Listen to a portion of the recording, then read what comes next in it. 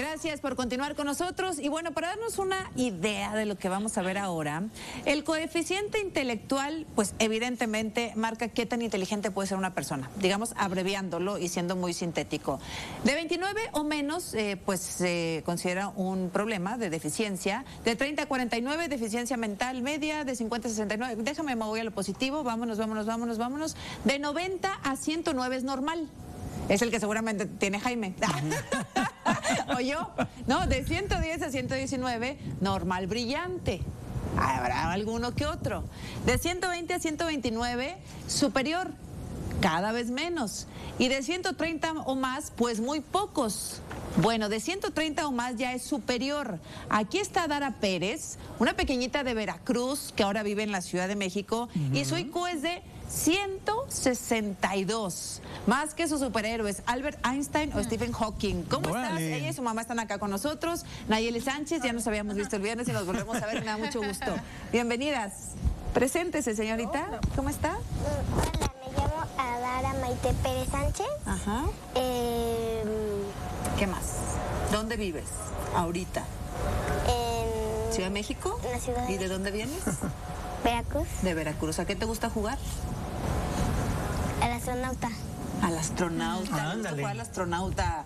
Hoy, Nayeli, bienvenida otra vez. ¿Cómo estás? tardes. Qué gusto, Nayeli. Hola, buenas Qué tardes. bueno, pues nos da mucho gusto tenerlos aquí porque es, es una inspiración, ¿verdad? Es una inspiración por muchas cosas. Porque, bueno, ha sido privilegiada con una inteligencia superior. Mira, mira.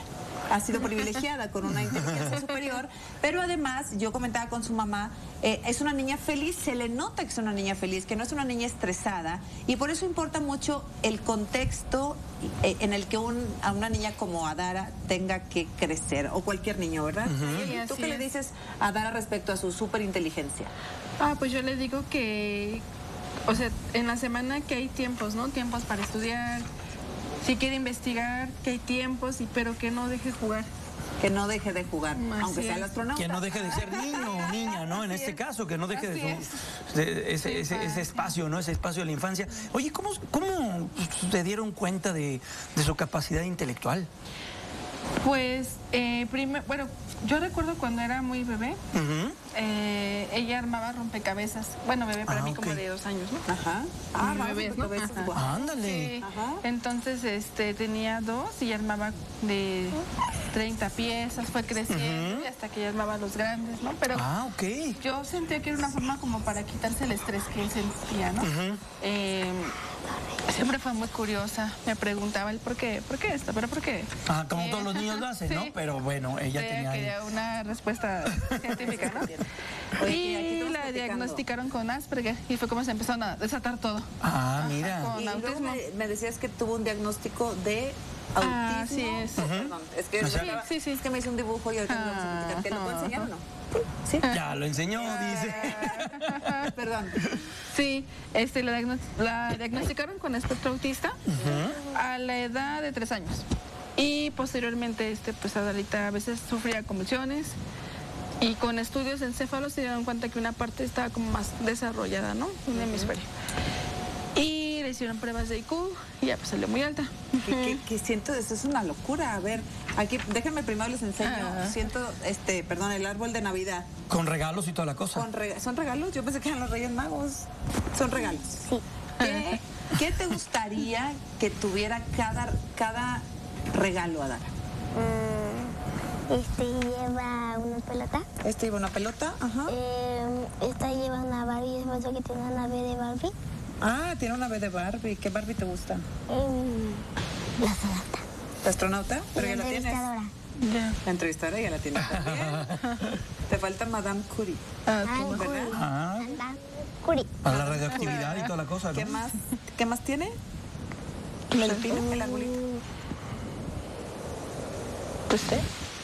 Ah, no. Nada más la pelota y la Barbie. y la estrella. Oye, Adara, a ver. Faltan lo- igual los regalitos. Cuéntame porque el viernes que platicamos tú me dijiste yo juego al astronauta con mi hermanita, este, y tengo unos superhéroes muy, muy particulares.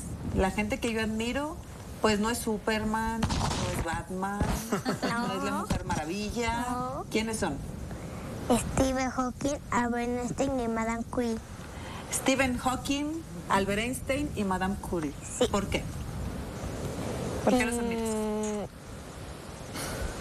Porque ¿Tú quisieras ser como ellos? sí, ¿Como alguno de ellos? ¿Sí?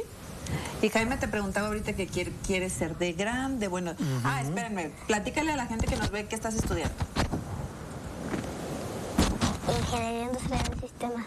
Ingeniería en la, Industrial en en Sistemas. la Universidad de CNCI.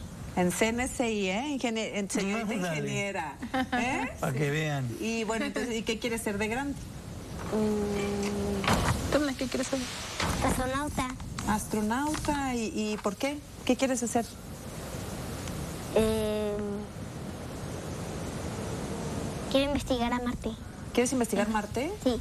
¿Qué crees que tenga escondido Marte para ti? Eso es lo que quieres saber. Entonces quieres ir a Marte. Pero no solo eso, Jaime. ¿Qué más? También quiero ir a la luna. También Ah, quieres ir a la mira. luna. ¿Y qué más? Cuéntame de tu pulsera y de tu libro. Eh, me estoy haciendo una pulsera. Estoy haciendo un libro que te llama No te rindas. Ya tengo ese libro, pero faltan solo las copias. Estoy haciendo una pulsera inteligente con mi amigo que se llama. ¿Cómo se llama? ¿Tu amigo o la pulsera? Fer. Ah, Fer. Eh, y esa pulsera mide las emociones. No me ¿Cambia de digas. color o qué? ¿Y eso O sea- para qué va a servir? Para que los niños con autismo no convulsionen.